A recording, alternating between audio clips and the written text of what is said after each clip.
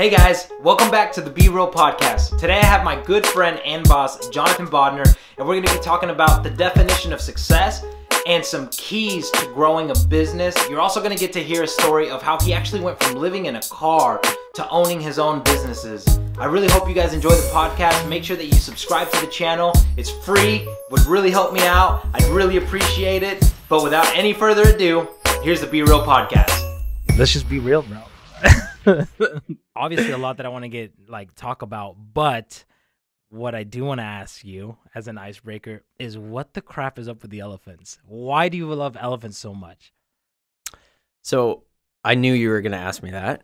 And I tried thinking, I tried like thinking about some sort of, you know, deep dark past or something like that. And I couldn't, I couldn't come up with anything. But, um, I, the answer is I have no idea. So when I was, um, when I was younger, I think my first toy was a, uh, little blue elephant with orange um, feet. I don't know what you want to call them. Yeah. And, uh, uh, paws. Are they called paw paws? Dogs like puppy paws. Um, and so I don't know. I've had that for my entire life, and uh, I don't know. Like I, I just people gave me elephants. I start collecting elephants. Um, I have elephants from all over the world in my house, and uh, um, you know, it's kind of cool because later in life I googled like you know just fun facts about elephants because I kind of somebody asked me that a couple years back, and I was like, I don't know why I like it. You're like, I gotta have a real. Yeah, I was like, I gotta have a reason. But you know what I found? It was really cool. Is um, elephants, their family bonds are the ex- Mm. like blood family is the exact same bond in an elephant as adopted family, and so Oh, you know it- which really have to explain that here in a little bit. really spoke to me. But we'll we'll dig into that later. I guess. Yeah. Okay. So so then later on in life, that's what you were like. Oh shoot. yeah it i don't know man it just kind of honestly it it was uh, representative of my life and i was very much a community child and i was raised by a lot of different families and you know we Mm-hmm. Can chat about that later but um i think that Let's chat about just it now.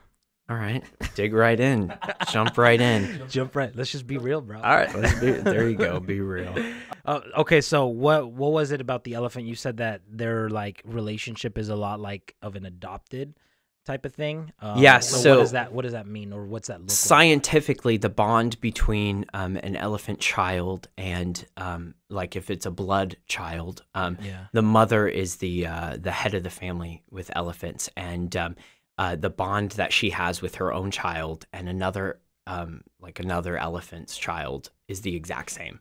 So they when they're adopted into the family, like they're actually adopted into the family, and like um, you know, not is that just a an archetype of our relationship with Christ and like our life, you know, as Christians, but you know, it was very um uh, it was a mirror of my life as well and that was why it was so interesting to me to kind of find that out because you know when i um uh in high school i actually um kind of moved out uh slash just didn't move and my mom moved and um uh i uh, was raised by you know just plethora of families because Wow. they like you know when my mom was uh her and the rest of my siblings were moving up north and uh you know, I was like, I don't want to move up north, and so she, How old were you? I was. This was uh, senior year in high school, and so And you just said, "I'm not moving." I just said I'm not moving, and uh, bro, my Mexican parents would have beat the crap out of me. Yeah. They're like, "Okay, you don't have to move. I'll move you." yeah, I was just like, I was like, I like my friends, I like my life. At the time, I had started a small ministry in uh, my high school, and I was like, I don't want to just uproot all of this, and um, and so I uh, I lived out of my car for a really long time, yeah, and uh, there was a time that my car broke down, and I didn't have a car to live out of, and uh, and so a lot of um, a lot of families, you know, I felt like in that time, uh, I felt like God had told me to give up my family and let them go and put them in the, His hands. And uh, there was a lot going on with my family. My parents had gotten divorced, and you know, uh, I have a lot of siblings, and so there was quite a bit of drama there, and um, a lot was going on. And uh, I felt like God was like, just give them to me. And Wow. you know, and it's funny because in the Bible it says that God you know, what you give to God, God gives back tenfold. And uh, I could count 10 families minimum that helped raise me and uh, you know in that period of my life like really took care of me took me in bought me clothes bought me food slept on couches you know like Yeah. eh, eh, plenty of nights um and Wow, that's uh, amazing. yeah, so very much a community child. So the whole elephant, you know, parallel like really speaks to me about like being adopted because I feel very I feel like some of these families are much closer to me than my real family is. And so Wow, dude, that's crazy. So, whenever your parents split, did that? I'm assuming that affected you. very much so. Um I don't think when you're there, you know, I don't You- think you realize it. what it's doing and how it's affecting you. And Mhm. um I don't know, man. It was like I don't have a lot of memories before I was like 12 or 13. And so and my parents got divorced when I was 13. And so, you know, like there was uh yeah, there's just not a lot of memories there before that time period. And so what I have after that time period was just a lot of like family issues, like just constant like, you know, uh, moving around, people, you know, siblings leaving, like the whole nine yards. And so at the end of the day, I think that, you know, whatever trauma that that caused or whatever, you know, I mean, everybody's parents get divorced, you know, it's like, it's not a huge thing anymore. And say. oh, yeah, dude, what a depressing, like, thing to realize is that marriages just fail constantly, you know, and, uh, and kids have to take the brunt of that. Um, and, you know, eh, the fact that you have to choose between a mom and a dad, like no child should have to choose between their Yeah. parents. Like that's that's horrible. Yeah. But- Yeah, dude. That's intense because obviously, you know, given my situation right now, that that always hits deep. Yeah. Like when I run into someone that's like been through that and stuff. Sure. And that's why I'm always like, like I told you the other day at the gym, like I'm still trying. Yeah. You know what I'm saying? Like yeah. at the end of the day, I may have not done everything perfectly, even while waiting, Sure. but it's like still trying because of that reason. Because I know that there is a lot that gets put on on the child now. You know, Oh, like yeah, we took our daughter and she's like got diagnosed with like severe anxiety. She's eight. You should have no anxiety when you're eight. You know what I mean? It should just be like Crazy. life is Yeah. great. You watch Yep. Disney Plus. Run around and play and just Yeah. be a kid and have that opportunity to be a kid. And I think that that's what you know divorce really does to a lot of uh, children is it robs them of their childhood because at the end of the day that like that innocence and that covering that was there you know that paternal covering is now gone. And you know for me it was very much i was the um, i was the middle child and so i was actually pinned against my parents quite a bit Yeah. and uh, by one or the other. And so there were a lot of moments um, i mean that you know any kid goes through a lot of that stuff and a lot of that traumatic uh, experiences. But i think that you know at the end of the day it stole a lot of the you know kid like you know innocence out of me and at the end of the day i think that that comes out quite a bit um in how i live my life and i think that god uses that he uses every single thing for good and i believe that you know i approach everything with the child or like a childlike mindset and a childlike faith because children think simplistically Yeah. they think you know um uh the fastest route to reason you know Mhm. and so i believe like you know god definitely used that Yeah, it's cool to hear kind of like what you were saying just now, and then knowing you personally, because um, like if we're being honest, divorce happens when somebody stops trying. Hmm. Someone, true. someone on the other side gives up and stops trying, um, and quits. Essentially, is what it is. Like to me, it's like you you just tapped out. We could, I could go a, a thousand rounds, but you tapped out. You know what I mean? Like if you're in a fight. Um, and to see that your characteristic now is the opposite of that. You don't tap out. You know what I mean? Like you, Yeah. you don't quit. Whether that's in business, from what I've seen, you know what I'm saying? Like Mhm. whether that's in in new ideas, new innovations, new new things, not just to help people, but Yeah. to produce something. Like you just don't quit. Do you think maybe even without thinking, uh, like subconsciously, like that helped you become that person to where you're like, I'm not, I'm never gonna give up in anything that I do. I think um, there are a few things that help people get to that place.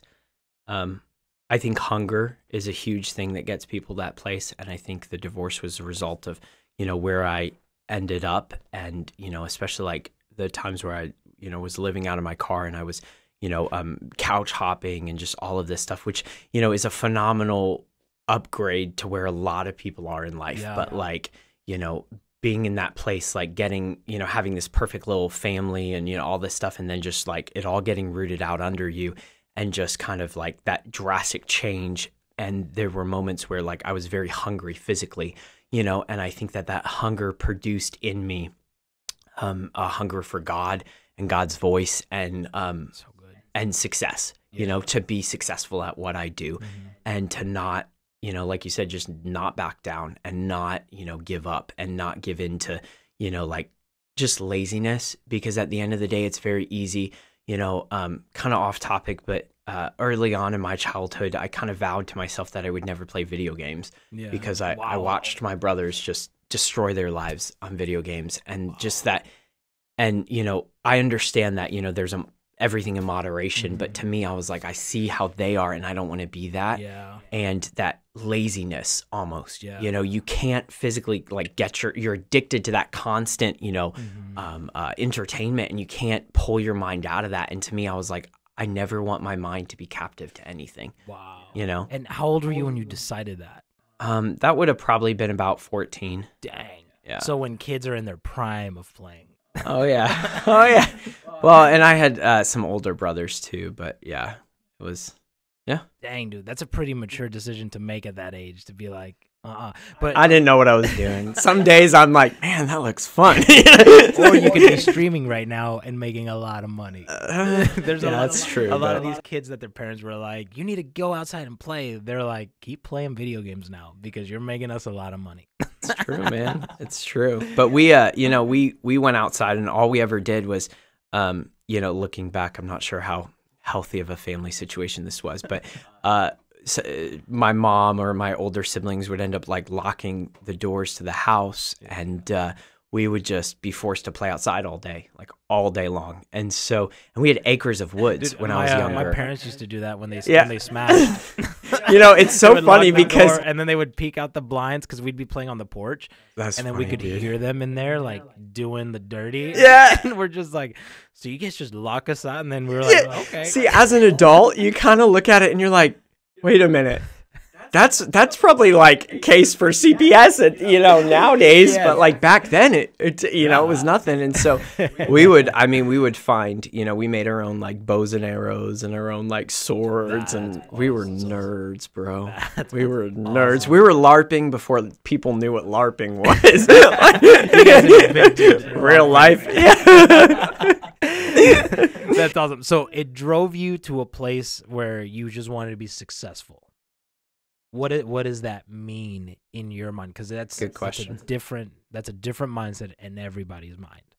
I think that's a very good question. Um, I think that you know a lot of people attach success to money, and and money does a lot. Like money is a tool, and it you know um, even Jesus said, you know, you have to give to Caesar what Caesar is 1st And, you know, um, uh, I think that success is quite a bit more than money, though. And um, for me, you know, my first driving factor behind like, I'm going to make some money and I'm going to be successful was like, um, seeing my younger siblings, you know, like go without a meal or something like that. Wow. And, uh, you know, to me, I was like, my family will never, ever want for anything. You know what I mean? Like they'll work for it and they'll fight for it, but they'll never want for anything. Like they'll never go hungry.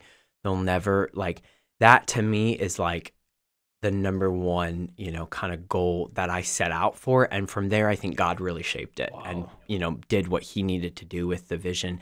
And, um, and to answer your question, I really think that, um, success is 100% about people. Mhm. There's, there's only one thing in this life that, with matters that. It's the best currency out there. the the only thing think about it you can't take you can't take your laptop you can't take coffee you can't take microphones you can't take anything with you you can't take money you can take people Yeah. People are all that matters and you know you and i were kind of talking about that the other day too like you know the importance of treating the janitor the same that you treat the ceo because Yep. and that that same level of respect because a person is a person you know Yeah. it- dr seuss as cheesy as it was it's 100% true like a Yeah. person is a person no matter how small you Yeah. know and at the end of the day like when you walk around seeing people and not seeing dollar signs not seeing you know like you've reached a level of success because you're thinking outside the box and you know when you see a person you ask what can i do for that person Yeah. like not how can that person serve me? Yeah. But what is it that I can do and what's inside of me? What has God given me that I can like I can serve them with? yeah. What what can I bring to them? You know what I mean? Yeah, Like, what can I add to their story and their experience and all of that? So, Exactly. That's kind of what drove me to to start this podcast because I'm like, I love talking to people. I love it, dude. You know what I mean? love it. There's And- some amazing stories, you know, and people Mhm. when you crack that egg open and you really get into what made them them Yeah. and why they're doing the things that they're doing, like Yeah. uh, that to me is that fascinates me. I mean, just think about it like years down the road when you're a millionaire, multimillionaire. You know what I'm saying? With the all your businesses. And God people are like and people are like, Oh, you know, this white guy has got it all, da, da, da. but then they see your podcast, they come across your podcast and they hear the the backstory behind the real stuff that you went through. It's just it changes everything. People don't it makes it makes people realize like I can do it too. Yeah. People don't see it, man. They don't see it. They think, you know, there's a lot of people that see business and they think it's just easy. You know, they see the car, they see whatever, you know, they see trips to Hawaii, they see whatever, and they're like, oh, wow, like, you know, you got the life. Like, you know, you, Yeah. y- and I, th- I think the first thing is number one, you have no idea what somebody goes through every single day. You have no clue. You have no idea what price they paid to get where they're at Yeah. and um, and what price they're paying on a daily Yeah. basis. You know, it's like Mhm. You think that every you think that somebody's arrived, but you have no idea what they're actually you know like working Yeah. through and what they're trying to solve. yeah. And you know, it's funny because the people that choose to keep going in face of everybody telling them they're making the wrong decisions, those are the world changers. You know, yeah. you asked um on one of your podcasts you asked like uh you know if you could go to lunch with one person and like you know i when i listen to podcasts um i always answer the questions you know it's like listen to a radio station and they're like do you like and you're like yes you know and uh i answered the question i was like well elon musk and nobody knows nobody knows what elon musk went through yeah. the guy's a genius. The guy is like his efforts, like nobody in the history of America has attempted to combat or compete with NASA. Mhm. Nobody. Yeah. Nobody. Think about think about like government is the only organization that's like, oh, we can go to the stars. Mm-hmm. And he's like, what? He's like, wait a minute, let me privatize this. too. Let me let me show you what capitalism does. And so yeah. but like everybody sees like Tesla and SpaceX and oh he's a millionaire, you know, and even PayPal when you know he built SpaceX and Tesla on the money he sold PayPal with and all this stuff. He he was abused as a kid in South Africa. He was like his he was starved multiple times. He came to America to New York with nothing. Like him and his brother had a hundred bucks in their pockets apiece. wow. And it's like I didn't know any of that. no. But you look at him and you're, oh, Yeah. Elon Musk got the life. You know, he's, Yeah. you don't know, man. Yeah. Well, that is because anyone who's been through something hard works harder Yeah. i- in whatever that's in. It's kind of like I told you the other day at the gym. Like what I told my wife, I was like, "What you did to me was the best thing Yeah. that could have happened to me Yeah. because it made me work ten times harder on myself Good. than I think I ever would have." And what you went through was- was probably the best thing that could have Oh, happened sure. to you. Sure. You know, because even though it may have crushed you, Yeah. like the example they use at church all the time, in order to get the oil out of an olive, It's you true, gotta man. crush it. It's in true. Order, in order to get make wine, you gotta crush the grapes, I- and then you gotta yeah. put them in isolation and let them ferment. I don't think I like- ever, bro, that's so true because I don't think I ever would have even, you know, like even touched business if I hadn't struggled the way I struggled, like going from, you know, like high school to like couch hopping to like never really feeling like you have a home, you know, and then like going all the way to like like trying to pay your way through college and like just all the walls that like you hit are what really gets you to the point where you're like I don't want to hit that wall again. yeah, You know, you just hit that same like this same oh never enough money, never enough money, never enough money, and it's like you wonder why that is because you're addicted to hitting the same wall over and over and Wow, over again. That's interesting. And, like- elaborate on that. that's a that's a really good, unique thought that I have not heard before. I think a lot of people, um, I think they're scared of money 1st off, Mhm. and I think you know, um, I think that money becomes their biggest hurdle because all they've done in their entire lives is think of money with a negative mindset, which is that wall that they keep smashing into. And it's Mhm. just like, you know, oh, money means bills. Money means having to pay someone back. Money means never having enough money. And like Oh, wow. the love of money is the root of all evil. But the Bible doesn't say that the enjoyment of money isn't is the root of all evil. And at the end of the day, the problem is is that your perspective has to change. yeah. You have to retrain your brain. Your brain has been wired to see money, whether you think you do or not, it is a negative thing in your mind.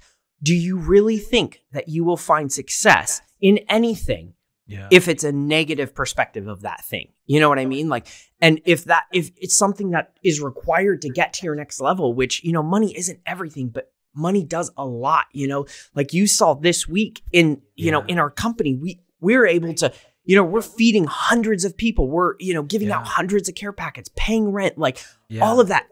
That requires money. And it requires a level of, you know, like uh, Pastor always says, radical faith, you know, like Yeah. um, scary faith. Yep. Because at the end of the day, it's like you have to separate yourself from something and realize that, hey, buddy, money doesn't actually exist. It's ones and zeros in a bank account. And the only reason it's there is for a tool. And you can either spend it or you Yeah. can multiply it. Yeah, that's really good. You can use it to build, or you can use it to tear yourself down. Yeah, Like it's true. either way. But you have to first learn how to not hate money Yeah, because the Bible never said anything about hating it. yeah, And the thing is, is when you hate making money, you hate progression. And at the end of the day, like, you know, if your life is really going to be about people and about Yeah. helping people and loving people, you can't hate people. yeah, You know, you can't you can't hate something that's going to get you, you know, Yeah. somewhere else. So you gotta love them enough that you're willing to give up your hate for this other thing, and that goes with anything, even beyond money. Yeah. it's like, do you love this person enough to let go of that offense? Yeah. you know what I mean. Oh yeah, Do man. you- forgiveness is ooh.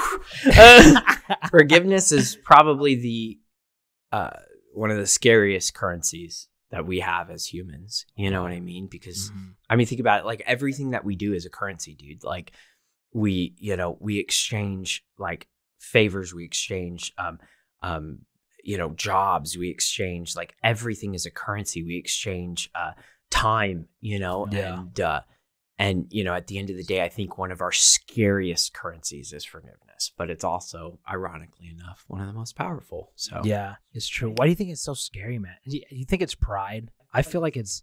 I feel like it's pride because they owe it to me to apologize. exactly, they shouldn't have yes. done this to me, and then it's like if you would just let it go, Yeah. You would not be better. It's good, dude. Um, I don't know. I think it's scary because um I think pride is a big piece of it. I think it's also scary because we, you know, um we kind of somewhere deep down, I think, you know, we're not just punishing someone else and we think that by, you know, un- unforgiving or not forgiving them, we can punish them. But like it's kind of this God complex. You know what I mean? It's kind of like whatever like how dare you like i'm you know something so much better than you you know and it's like again it goes back to just seeing people as people you know and Yeah. like um i think really you know with my parents especially you know kind of going back to that like and forgiveness in my own life i think that um it took me seeing my parents and and there were some pretty awful things in our family, you know, growing up and everything. But um, seeing my parents as humans and understanding they're trying to do the best that they could with the information that they had at that time helped me just be like, wow, I have grace trying. for them. You know, I was talking with a friend the other day, That's so and good, uh, her dad like just it was horrible dude her dad like um they would like call him and be like hey are you coming to like our birthday party or whatever? Her and her sister. And her dad would just you know be like no i don't have time you know whatever never show up and like all this stuff. And he was just never ever there. And there was some real like deep deep hurts there. You know we were just talking about the power of realizing that a person is a person and they are trying to like figure it out just like you. And Yeah. that doesn't excuse it. That will never excuse it. But it gives you grace to understand that, well, if I was them and if I Mhm. had the same circumstances, would I really have made a different decision? Yeah. You know? And I mean that can apply in anything, like in Yeah. any area. You know, it's like whether it's it's a business decision that you didn't agree with, whether it's a uh, you know um, a manager or a boss who made a decision that you didn't agree with. Yeah. You know, it's like you just got to look at them and be like, you know what? They had a lot of extenuating circumstances that maybe I don't see, Mhm. and they made the best decision that they knew how. Nobody's going to purposely be like, I'm going to make a bad decision because um, I feel like it today. You know, especially if Yeah. it like costs thousands of dollars or if it hurts their children or you see I'm saying? Like yeah. it doesn't work like that. And Mm-mm. people, generally speaking, do the best they can with what they have. And if you Yeah. just look at that, like, Yeah. That's like my biggest thing for this year is like we're all trying. Every person's trying. So and, good, And trying to have empathy for every person that Yeah. I come across good. and knowing like they are doing the best with what they have in the situation they are in. Yeah. You know what I mean? And and honestly, like really living out the fact that you don't get offended, Yeah. you take offense. You know what I mean? Yeah. Like you take it. Sure. You know what I mean? Like they don't give it to you. You go out there and you grab it and you say, I'm choosing to be offended and just choosing to not be that. And I think that's where a lot of people struggle with, a lot of us Yeah. humans in general, like having empathy for someone else. Sure. Because I feel like it's because of selfishness, because You know, yeah. I would have never done that. Yeah. I this and that. Yeah. Well, think about what you have done. Yeah. You know what I mean? And what you haven't done, think about what you have thought about people. But you know what gets rid of that? Um, you know what gives you empathy and gets rid of that offense is giving.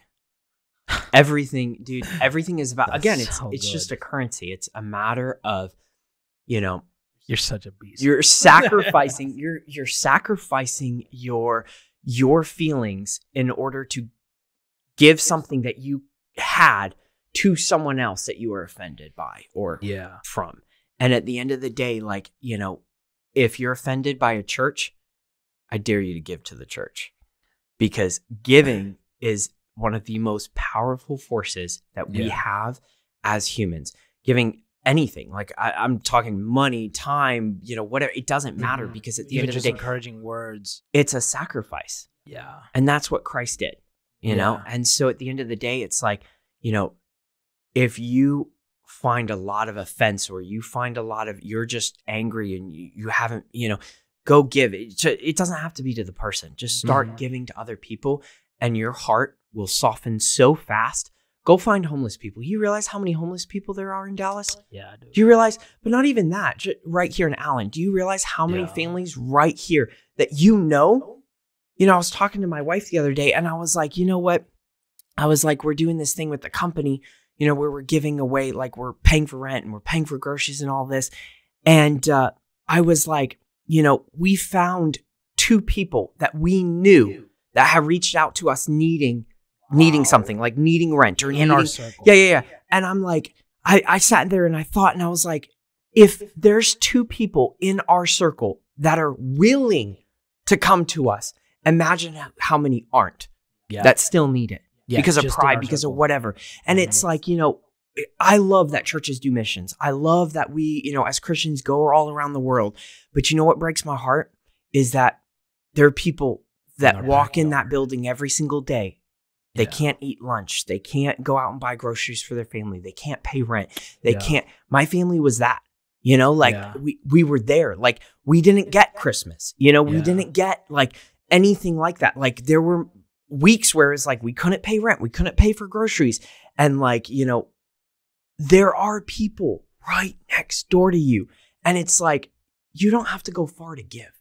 Yeah. You know, there are people part of this company. You know, part of church base Yeah. you know, that need money and need help and need time and need friends and need all of that because at the end of the day, we're all human and we're all doing the best we can with what we've got. But at the end of the day, when you give, you break all that pride down. You break down, it's like breaking down a muscle. It's like you just Yeah. crush that pride, you crush Yeah. that resentment when you and then it gets stronger.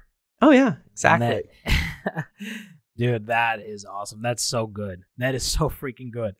Um, switching over now into like business because I kind of want to see where all of this ties into business.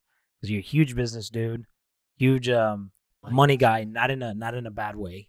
Um, if people hear that and they're like, "Oh, Christian money, man, man," but no, like you have a good, you have You try right building a church without money. Yeah, yeah. You try doing anything, anything without money. it's true, like, man. How are you gonna bless someone with a car? Yeah. Are you gonna bless someone with a meal Yeah. without five bucks? You know what I mean? So, I'm curious. You don't have to answer it if you don't want to, but how many businesses do you have? Good question. um, I plead the fifth. I have about five or six. okay. And I say that because at the end of the day, um, one or two of them aren't really, you know, like official companies. So they're Yeah. more like projects. Mhm. So, you know, as far as like official companies, probably about five. So, dang, that's amazing. What what was uh what was your first one, and what was the scariest risk that you had to take to start that? I love it. That's a really good question. I know it is. Um, my first company was uh, computer repair because I uh, helped my brother build motherboards back in high school, and so you are a nerd, dude, you have no idea. I, I brushed it off, but like uh, I helped him like fix motherboards at his little uh, his computer repair place, and so um, at the time, this was after graduation. I um, obviously needed money, and uh, I, I hate working at nine to five jobs. Like to me, Mhm. I would rather give you anything in the entire wide world. Like I would rather sell anything I have except for my time. You know, because Yeah. a 9 to 5 is you're literally saying here is 1 hour of my time and my time is only worth $12 an hour. Yeah. And the only thing you will never ever get back is Is time. time. And so at the end of the day, when I separated my mindset from nine to five, like I got to get a paycheck, and I said, well, wait a minute. What if I could make more than mm-hmm. what most people make in an hour and not have to worry about it? Or what even if I could make money without doing anything? You know, if I could spend an hour and make 10 hours worth of money, I was like, I'm buying back time essentially. Yeah. And I'm Oh, buying wow. back That's, the that's most a good way to think about it. the most important thing in the world and that's you know so um when i you know needed money and everything i was like okay so i start you know uh, talking to friends you know people in the church and everything and i um, found people that needed their computers fixed and stuff like that and so i started doing that um, hated it absolutely hated it uh, it was i what i loved about it was um, what i loved about it was the ability to set your own price Mm. instead of somebody saying, Hey, I'll pay you X amount for this, Yeah. you said, Hey, it costs this much. And it was like, if I'm being honest, it was a bit of like a power rush because you're like, wow, like I can set my own value. Yeah. But I feel like everybody should, you know, should have that mentality. And I I told my wife once, I was like, you know, you are responsible for what you're paid. And, Yeah. you know, because I've had people that walk in my office, and I probably shouldn't say this because I'm sure the employees will uh, will watch this, but I've had people um uh, walk into the office and you know they're like, oh, you know, I like I asked them like how much they want to get paid, and they're like twelve bucks an hour or something like that. Yeah. And I was planning on sixteen.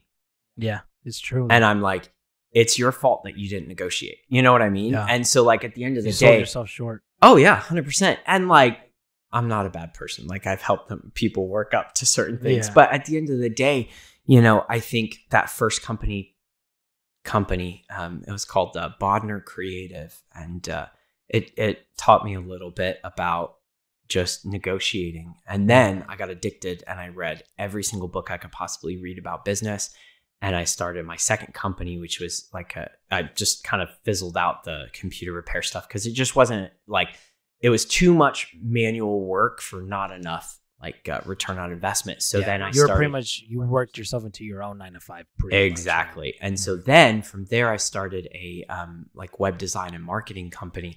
I knew nothing about web design. I I had never touched any line of code, nothing. And Yeah. so I just Googled it and I watched YouTube videos and I learned as much as I could. And I sold my first website for like, it's like 500 bucks. But it took Mhm. me, my first website took me about 30 minutes to build. And I was like, I just made $500 in 30 minutes. And I was like, I can do this 10 Oh. times this.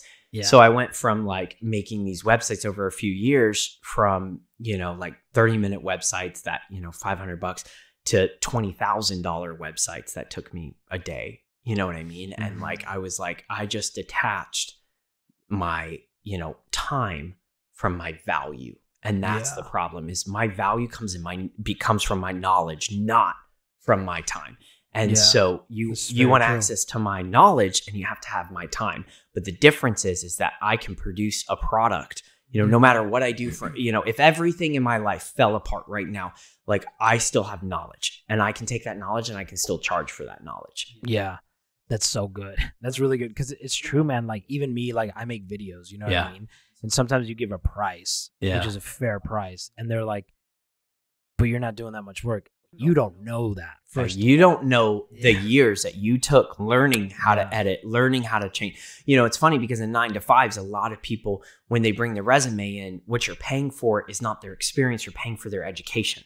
You're paying for the fact, which, you know, at the end of the day, kind of is a little frustrating because it's like, well, you know, I want real world experience. And that's, you know, at the end of the day, like hmm you're paying for some, the time that that person stuck into Yeah. you know, like video. If it was that, if you don't want to pay that, you go learn how to do videos.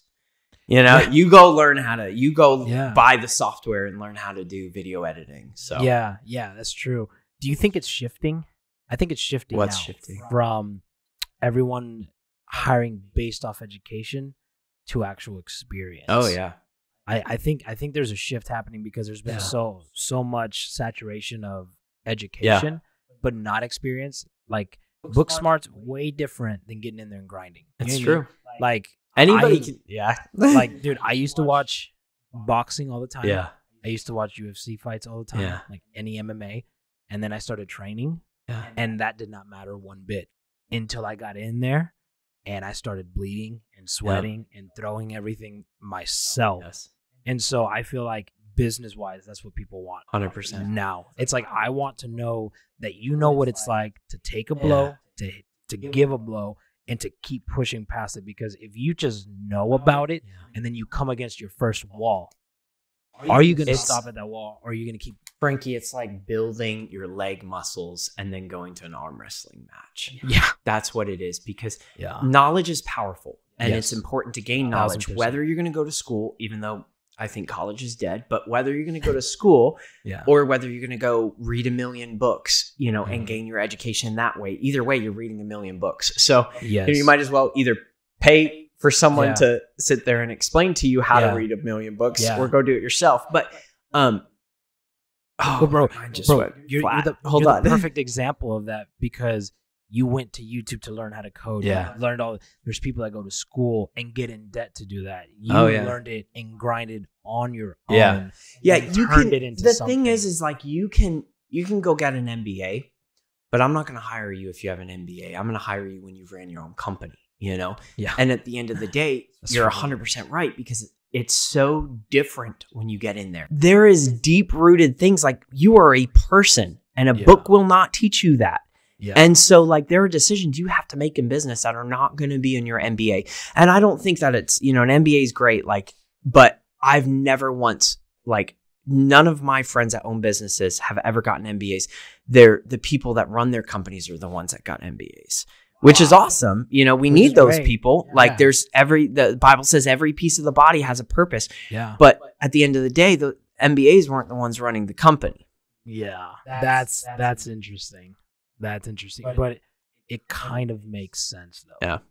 If if we're being honest, because you have these dudes that said, "I'm gonna work for my own. Mm. I'm gonna build my own," and they do. Then you have these other people that say, Yeah. "I'm gonna get a good education to get hired," Yes. Yeah. and and and that's that's It's two different goals, man. Yeah, It's- yeah. Not neither one is better than the other. Yeah. it's just different. Do you know? I think the separating factor is like the ability to deal with fear and like good. the So good. because at the end of the day, you know, people ask me all the time, like, I need help making a decision. Like, how do you make a decision? And like, I have one rule for decision making, and I probably should have oh. more than that, But but scares the crap out of you. Do it. exactly That's because good. at the end of the day, God doesn't give you fear; the devil gives you fear. And if you're Yeah. scared of it or scared of it, want you to do it. Exactly. He doesn't want you to do mm-hmm. it. Not just that, but if you end up doing it, what's going to happen after that? You know? And when you just go and every time it's like a giant red light directing you where you want to go because it's like, oh, I'm scared of this. Let's go over here. You know, oh, I'm scared of this. Let's go over here.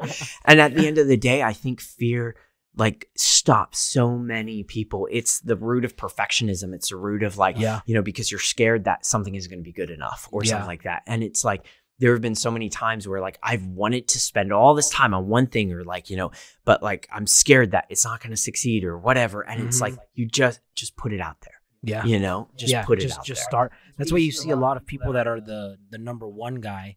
A lot of them are doers, Mhm. so they they take the risk immediately. Yeah. Like they're like, I have a vision. Yeah. Like you've heard my concept behind the Rhino Vision. Love it. You, you can only see five seven feet in front of you. Yeah. But your goal is hundred yards, but you still charge a thousand percent. Yeah. So you have the doers that say, "I'm getting after it," and then you have the planners Yeah. who need everything to be perfect. Yeah. And for, in my opinion, a doer starts it and leads it, and, and then a you doer. bring the planner yes, with you. yes. It's so true because there's so many like you can't do anything great without people ever. Mhm. Yeah. And you will never, you know, I have this rule in my uh like, you know, you might think, "Oh, five companies like that takes all your time." And it doesn't because I have this rule with business where it's like 51% of my effort and my mental capacity will only go to one thing. And so oh wow. there's the majority of my effort and capacity will always be like monopolized with a single thing. And if you've ever read a book um uh, one thing i can't remember who wrote it but it's phenomenal about most successful people in the world just focus on one thing at a time and everything. And so if i ever start something else i'm not the one that's going to run that. Someone else is going to Wow. run that. And so you all you have to have people. So in every Mhm. single venture that i have it's someone else is taking that and running with it and Mhm. i'm there to help guide them and help you know instruct and all of that and so at the end of the day like you will never be able to do this do anything you know Yeah. without people you Yeah. have to have people which is why you know it's so important going all the way back to like understanding people and understanding that you have to treat you know the janitor with the exact same respect as Yes. And it's like it's so your life will change when you decide that people are your biggest asset in life Dude, that is so good. That is. I want to keep going, but it's two thirty. you, you got to roll, right? no let's go let's keep Okay, going dude okay, this is good, fun good, good, good. chop Yeah. it up to whatever Yeah, right? I, I really like this. I really like this. Yeah, dude, that's so true. So even with your other businesses, because initially, would you say your biggest risk was the first one, and then after that, it got easier? no That's, It that's the answer. Kept getting harder. So it's it's very different when you it's just you and you um you know have a hundred bucks in your bank account and you decide I'm gonna go pay for a sponsored ad on Craigslist, you know, to find somebody to make a website for and turn that hundred dollars into a thousand dollars. Yeah. It's very, very different from that perspective where there's like almost no risk involved whatsoever because Mhm. it's like you're sacrificing a hundred bucks, you know, to Yeah. make a thousand. Like it's a very surefire, you know, way to go. Um, and not that freelancing is easy because freelancing is hard, but at the end of the day, that kind of risk compared to the risk when it's like you're married, you're trying to have children, you're, you know, trying to have a steady lifestyle for your wife, Yeah. you're trying, you know, and you're not, you're no longer talking about hundreds of dollars, you're talking about hundreds of thousands, if not millions of dollars And in lives. risk and lives because when you start that's such a good point because when you start hiring people you are now responsible for putting food on that person's table Yep. and it's very very very different than Yeah.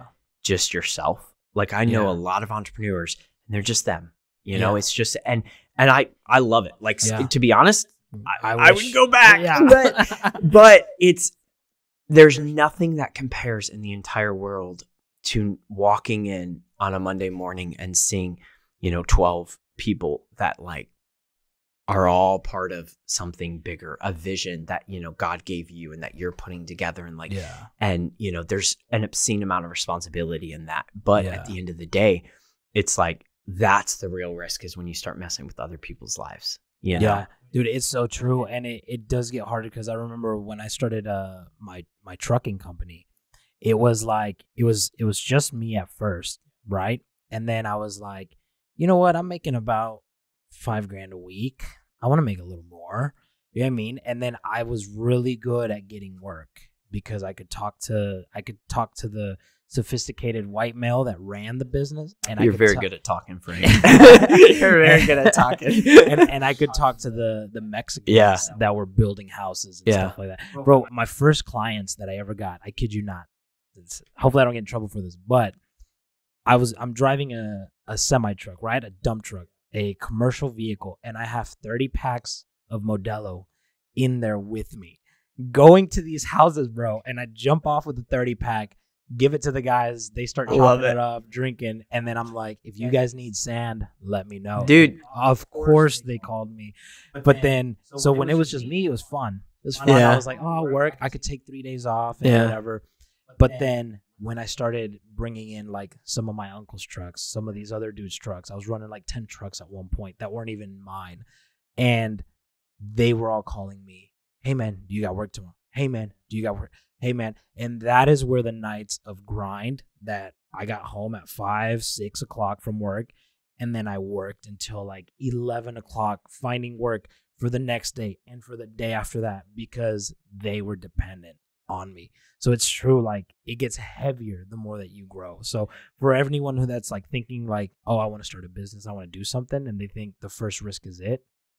It's honestly, not. it's even it's even after you know, like it's not even like as at bigger, bigger, bigger, bigger. It's like when when one project finishes or one company you know sells or whatever, and then you know you're like, am I about to do this again? Because there's a certain sense of naivety in the beginning Mm. That kind of blinds you to Yeah. the real risks of what you're doing, and then Yeah. like later on, you're like. Do I do I just want to go back to McDonald's and you know flip burgers or like because at the end of the day, there are days, bro. There are days Yeah. that it's like, but you know what? What I thought was cool that you said, um, your entire company started with giving because you gave these guys like those, oh, yeah. you know, and like at the end of the day, it's like if That's anybody ever wants to start something, you got to give. You have to, and at the end, it, like you have to give what you want back, essentially. And you know, like when I was doing marketing and advertising when I first started that. I gave away contracts like in the beginning because I was like, just refer me, just refer me, just refer me. Yeah. And and when I did uh, web design and advertising, outside of the very first two clients I got, every single person was referral. Wow. Every single. I never did advertising for that, and I lived on that for you know good four years. And so like it was just because it was all about reciprocity. It was, it, and there's actually a law like in business called the law of reciprocity. And when you give something some something to someone, like it shuts down the receptors in their brain that think they're being sold. So Wow. That's really good. It's fun stuff. yeah. Once learning new stuff every single day. Jeez, man. Okay, so then what would you say your biggest challenges have been mentally, internally, um, r- operating the businesses? That's a good question. I need to think about that. Um, I think the biggest challenge um, mentally has been comparison Mm. and getting out of the, you know, looking at competitors and being like, you know, we need to beat them and you know we need to crush them. And there's a there's a fun sense of competition and there's Yeah. a dangerous sense of competition Yeah. and when you um when you obsess over uh just being better and being you know there's a difference between like such a fine line man there's such a difference between obsessing over being a better company and a better person and obsessing over like we need to be better than this person Mhm. and so, you know, there's a always comparing the difference is always comparing yourself to yourself and always comparing yourself to someone else. And Yeah. so, you know, I think um, in business, my biggest mistake or my biggest like, you know, like battle mentally would be always comparing my company to other companies and, you know, being like, we're not there. You don't know their path. You know, you don't know where they've been. You don't know how they got there. You don't, you know, it's just like we've been talking this entire time about people. Like, you do not know what price they paid to be where they're at and are you willing to pay that same price Yeah. and so sometimes you know it's you just kind of have that like mental check of like you know what like i'm where i'm at and this is the road i chose and this is Mhm. you know um the decisions i made led me here but you know i often feel like uh i joke to my friends i tell them that um you know church base is my uh it's my uh, master's degree because You're learning I. I dropped out of college, so I, I don't have any degree, and so like Yeah. dropped out of Bible college, and so um, and uh, story for another day. But you know it's bad when you drop out of Bible dude college. it's exactly but uh you know it's like like we were talking about just real life experience the difference but i think that would have been probably my biggest mental and then mental clarity um i think there's a big difference between time and mental capacity Mhm. and kind of going back to what i was saying like with the the 51% you you know that's not 51% of your time is dedicated to one thing that's 50% of your mental capacity i think a lot of people they Mhm. think do i have the financial resources do i have the time resources and they forget about mental capacity yeah. and the problem is is that whether you're actively working on something or not it is taking a, a spot in your mind and at the end of the day the clearer you can keep that and you know the clear think of your mind as like a i don't know dude i'm trying to think of a good example but like uh Mhm. you know a sand a sand pod and it's like every or a uh, you know those sand glasses Yeah. every you know um, thing that you work on is like a tiny bit more of sand or everything that in your life is a tiny bit more sand you have to keep this empty space otherwise you don't have the capacity to solve the problems for the other part and so Wow. that's why 51% of my capacity is reserved you know capacity i sound like a Yeah. robot but uh, is just reserved for my number one project which right now is church base so Yeah. So that's like your focus right now. And that's what it should be for anyone who's like trying to like build something. Like for example, me, like I obviously want to build like my podcast as well. So whenever I'm working on my podcast, that needs to be the isolated thing that I'm working on type of thing, Yes. right? Even if 100%. it's not like financially or anything like that, just mentally get even it. Would you say even if it's like on one day, set apart five hours and just focus on that? Would would that be like a good example? I mean, it it depends. apart? It really depends on like your lifestyle. You know, are you married? Do you have kids? Do you have this? Do you have that? And so I think it's more of a mindset. I think you really have to change your mindset to like, you know, um, I, I think at the end of the day, what you feed grows, and so you Yeah, know you have to change your mind to to uh, feed. You know, and and it all starts here. You know, Mhm. this all of this happened because it all started here. That's true. And so, if all you ever do is work off that single seed and you never let that seed grow, then all it'll ever be is this. And so, you really have to like mentally give space, you know, go meditate, go uh, take a break, go whatever. You have to mentally give space to make let this idea keep growing and keep expanding. And, you know, um, you know, and at the end of the day, like that could look like you know, uh, it could look like time. It could look like, you know, you, like I said, just putting off an hour a day, you know, whatever it Mm. looks like in your situation, it all starts here. Yeah. And, and, your what you think is what you become and where Yeah. what where you think is where you go and so at the end That's of the really day good.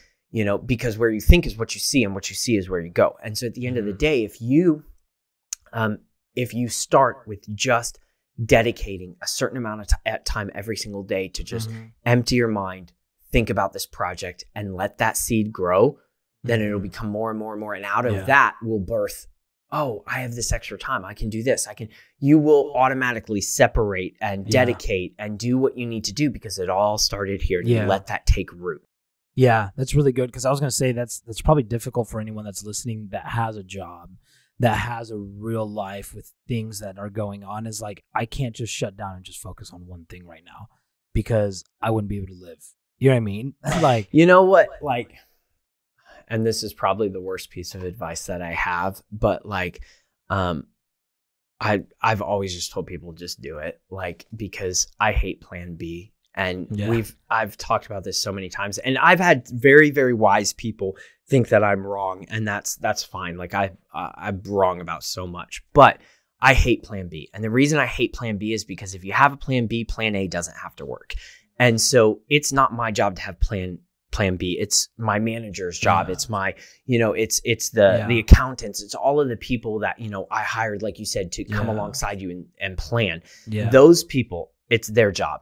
But if you're gonna found something, can't have a plan yeah, B because then you you're just fail. plan to fail. Exactly. And at the end of Mhm. the day, it's like I know that you have to hustle on the side in order to Mhm. get things paid and everything. But if there is a way to monetize what you are doing, yeah. you know, right now today, and the only like there was a, a friend of mine, he uh, he made the coolest um uh, bow ties and everything, awesome bow ties, and like I always told him, I was like, bro, like quit your job and do these because it's something Yeah. that you can physically sell and you can mm-hmm. replace your income. And here's the thing: is hunger does a lot for somebody, and when you don't have and you are forced when you have to pay that bill and this mm-hmm. is this is the total like crazy risk you know person talking but at the end of the day like that's that's how i started was i was like you know what i have to do like i have to pay bills i have to eat. yeah. so this has to work you know because i don't want to go get a job Yeah. And sometimes it worked and sometimes it do- it didn't but you know and everybody's situation is different so please don't Exactly. take that No. advice and just go like